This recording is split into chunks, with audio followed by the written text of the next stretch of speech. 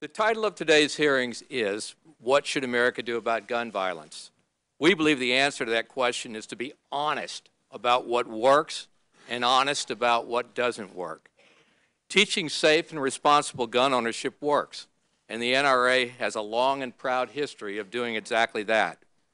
Our Eddie Eagle Child Safety Program has taught 25 million young children that if they see a gun, they should do four things stop, don't touch it, leave the area, and call an adult. As a result of this and other private sector programs, fatal firearms accidents are at the lowest level in 100 years. The NRA has over 80,000 certified instructors who teach our military personnel, law enforcement officers, and hundreds of thousands of other American men and women how to safely use firearms. We do more and spend more than anyone else on teaching safe and responsible gun ownership. We join the nation in sorrow over the tragedy that occurred in Newtown, Connecticut.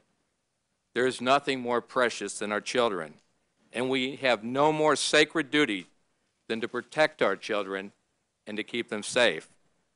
That's why we asked former Congressman and Undersecretary of Homeland Security Asa Hutchinson to bring in every available expert to develop a model school shield program, one that can be individually tailored to make our schools as safe as possible. It's time to throw an immediate blanket of security around our children. About a third of our schools right now have armed security already because it works, and that number is growing every day.